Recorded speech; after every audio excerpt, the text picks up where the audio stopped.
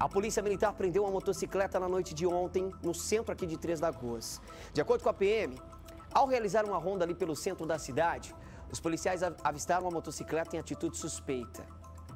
Estava ali na contramão na Olinto Mancini. A polícia falou, opa, na contramão? Vamos abordar. Ao realizarem a abordagem, os policiais constataram que a condutora não possuía CNH e o que agravava mais a situação dela ela estava bêbada, dirigindo bêbada, de acordo com o boletim de ocorrência. A polícia, então, fez ali a abordagem. O passageiro que estava com ela era o proprietário da moto e com ele os policiais encontraram uma porção de maconha no bolso. Aí complicou ainda mais a situação.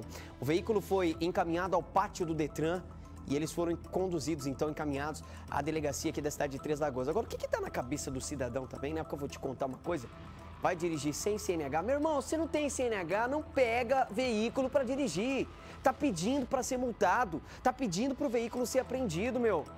Não tem CNH, não de pô, não tem CNH, eu não vou dirigir. E ainda mais, bebeu, não dirija. Tava errado três vezes. Errado porque a condutora estava sem CNH, não pode, de acordo com o Código Brasileiro de Trânsito, né?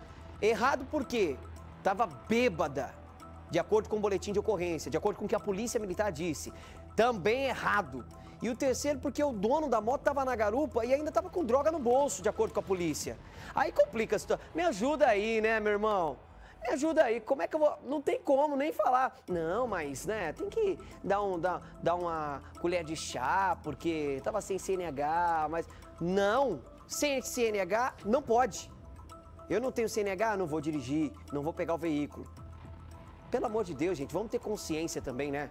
Vamos ter um pouquinho mais de consciência. Como eu falei, eles foram conduzidos então à delegacia e a moto foi apreendida a, a, ao pátio aqui uh, do Detran da cidade de Três Lagoas. Perdeu a moto, né?